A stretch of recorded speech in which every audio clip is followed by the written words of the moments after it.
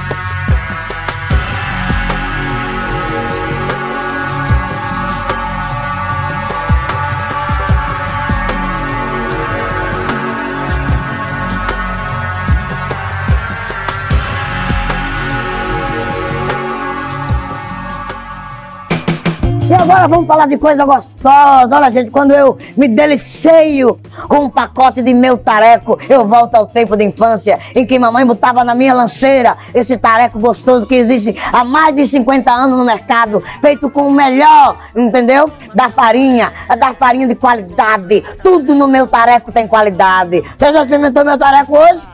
Não deixe de comprar a venda nas melhores padarias, nas melhores boulangeries. Meu tareco até está sendo exportado, entendeu? O pessoal de Del Cipre está comendo também o meu tareco. Então, meu tareco é gostoso, gostoso é meu tareco. Coma meu tareco!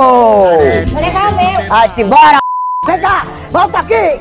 Olha, eu não gostava muito dessa ideia de comerem meu tareco, não. Mas eu percebi que depois que o povo beliscou meu tareco, só ficou em tempo de doidar. Então agora eu recomendo, coma meu tareco. Meu tareco nas versões tareco fino e cheirosinho.